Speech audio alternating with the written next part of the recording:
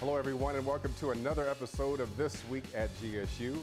I'm Bryant Monte, bringing you the campus news for Tuesday, July 26. Attention students that want a job, check out the Mobile Workforce Center near the university entrance. Now, this center offers resume development, access to online job boards, and instructions on how to conduct online job searches. So go out and visit them from 9.30 in the morning to noon or from 1.30 p.m. to 3.30 every Tuesday.